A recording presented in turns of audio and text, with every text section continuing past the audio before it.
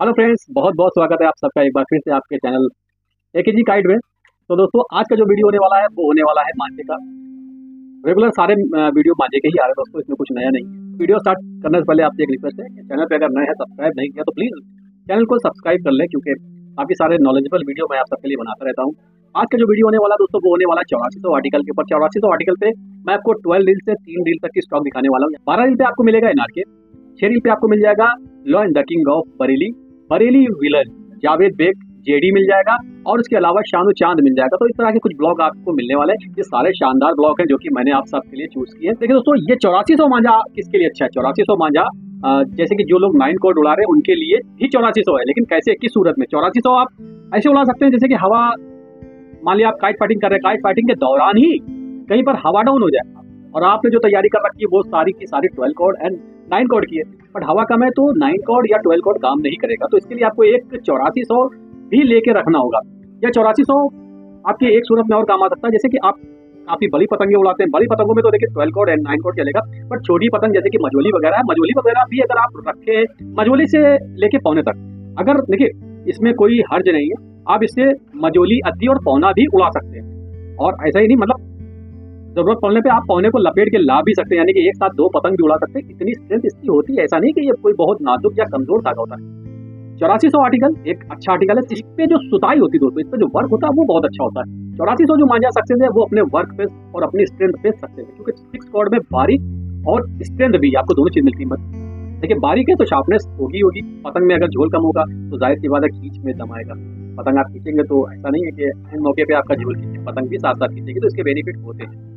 और अगर आप बड़ी पतंग नहीं उड़ाते हैं, आप छोटी पतंग उड़ाते हैं तो नाइन कोड से कोई मतलब नहीं आप सिक्स कोड में चौरासी सौ ट्राई कर सकते हैं, एक अच्छा मांझा होता है। और आपको इससे रिज़ल्ट बहुत अच्छे मिलेंगे इनशाला तो चलिए दोस्तों, बस फटाफट मैं इस मांझे का रिव्यू करता हूँ और आपको दिखाता हूँ इसमें कौन कौन से कलर मैंने किस पे लगाए मतलब कलर वरायटी काफ़ी ज़्यादा है इसमें बट मैंने एक ही एक चरखा खोला जैसे कि मैं आपको जावेद बेग दिखाऊँ। तो जावेद बेग में आप कलर मुझसे मांग सकते हैं, मैं आपको कलर अलग अलग दिखा सकता हूँ इसमें। Lion the king of Bareilly इसमें मैं एक चरखा खोलूँगा बट आप इसमें कलर मुझसे मांग सकते हैं। और एनआरके है एनआरके में भी आप मुझसे कलर मांग सकते हैं और चाँद चाँद में भी आप मुझसे कलर मांग मतलब ए टू जेड किसी में भी आपको कलर चाहिए तो कलर ऑप्शन आपके पास। तो फटाफट इस वीडियो का शुभ आरंभ मैं करना चाहूँगा एनआरके से, यानी कि आप समझ सकते हो दोस्तों एक ग्रैंड फादर बोल सकते हैं इनको। तो एनआरके से मैं ट्वेल्व रील से ही इसकी शुरुआत करता हूँ। तो ट्वेल्व रील में जो मिल रहा है, आपको वो मिल रहा है एनआरके एनआरके में क्या है? मैं आपको बताना चाहूँगा, मांझा। मांझा भी बहुत शानदार बनाया एनआरके में गोलधार का मांझा है एनआरके हल्का सा चला पैटर्न है। जैसे मर्ज़ी है, वैसे लड़ा लीजिए दोस्तों। शानदार रिज़ल्ट मिलेंगे, जैसे मर्ज़ी आए लड़ा लीजिए, कोई दिक्कत नहीं है। गोलधार का बहुत ही शानदार मांझा एनआरके ने बनाया है, इस एनआरके की बढ़िया स्ट्रेंथ है। एक नंबर की स्ट्रेंथ है। मांझे में गेज बहुत अच्छा दिया है। एकदम गोल है मांझा। कहीं पर भी मांझे में ऐसा नहीं है कि ऊंच नीचो मांझे में एक जैसा काटा दिया है मांझे में। आप जैसे मर्ज़ी लड़ा सकते हैं, खींच के बहुत ज़्यादा अच्छा लगेगा फंस के भी अच्छे रिज़ल्ट आपको मिलेंगे इंशाल्लाह।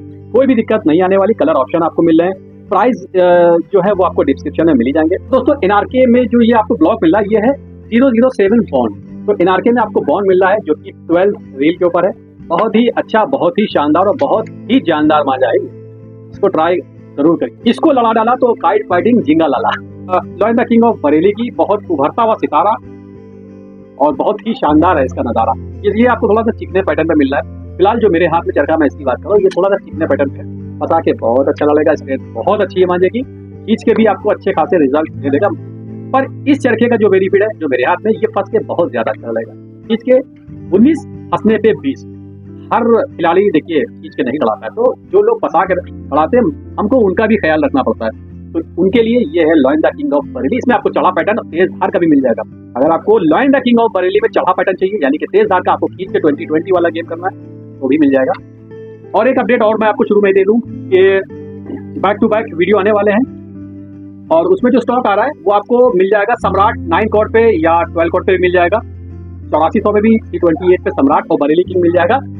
और जो मेरा ये lion the king of Bareilly है, ये भी आपको नाइन कोड पे मिल जाएगा, शायद ट्वेल्व कोड पे भी मिल जाएगा स्टॉक इसका आने वाला है। और भी बहुत सारे मांझे आ रहे हैं जो कि आपको रेगुलर मिल ही रहे और भी उसका स्टॉक आपको रेगुलर मिलता रहेगा तो एक ये हो गया आपका lion the king of Bareilly price description में है, आप देख लीजिएगा जाके। दोस्तों, इसके बाद बारी आती है चाँद मिया। चाँद मिया का जो मांझा इसमें भी आपको कलर मिल जाएँगे।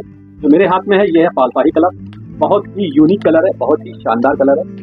जानदार मांझा है, अच्छी ब्रांड है और मांझा तो देखिए, दोस्तों, शानू चाँद का जो मांझा होता है ज़बरदस्त मांझा होता है। एक एज का मांझा है, गोलधार का मांझा ये भी है। बहुत ही अच्छे रिज़ल्ट आपको इससे भी मिलने वाले हैं। और फ़र्स्ट के ज़्यादा अच्छा लड़ेगा अगर आप ढील वाले पेचे लड़ाते हैं, कहते हैं ना दोस्तों पेचे, अगर आप ढील वाले पेचे लड़ाते हैं तो बहुत ही ज़बरदस्त रिज़ल्ट है इसके। खींच के लड़ाएँगे तो मैं आपको देख लूँगा, इसमें कोई चरखा। अगर तेज धार का चढ़ा पैटर्न होगा तो मैं आपको वो दे दूँगा। फ़िलहाल ये जो चरखा है, ये इसके जो रिज़ल्ट होंगे, फ़र्स्ट के, ज़्यादा अच्छे होंगे। खींच के थोड़ा सा उन्नीस, फ़र्स्ट के बाईस। तो कुछ ऐसा मांझा है ये। बहुत ही तेज धार, एकदम ब्लेड आराम मशीन खतरनाक रिज़ल्ट चापड़, छुरी। इसको क्या बोलेंगे चापड़? इसको क्या बोलना चाहेंगे दोस्तों? चापड़, छुरी, तलवार, कुछ भी बोलिए। खतरनाक मांझा, खतरनाक रिज़ल्ट टेम्पर देखिए मांझे में, ये देखिए। ये देखने मांझे का चौरासी सौ है, ये देखिए। जमाव बहुत अच्छा है मांझे का। गजब का जमाव है, गजब का जिसे बोलते हैं। बहुत ही अच्छा मांझा। खींच के बाईस फ़र्स्ट के उन्नीस। देखिए, हर मांझे का एक प्लस और एक माइनस पॉइंट होता है। कोई मांझा खींच के बहुत ज़्यादा अच्छा लड़ेगा तो फ़र्स्ट के वो उन्नीस लड़ता है।